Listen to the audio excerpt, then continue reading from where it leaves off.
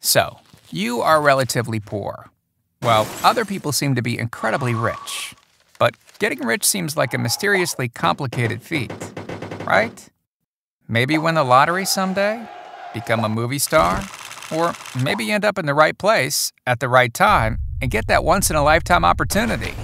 Otherwise, you're just good at being poor. Hey, here's the thing becoming rich is very similar to becoming poor.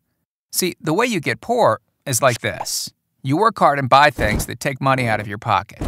These are what Richie Pants financial people call liabilities. And if you keep acquiring these liabilities, eventually you will be poor. Guaranteed. Now, becoming rich is pretty similar. You still work hard, you still buy things, except you buy things that put money in your pocket. Things like real estate, businesses, stock, things called assets.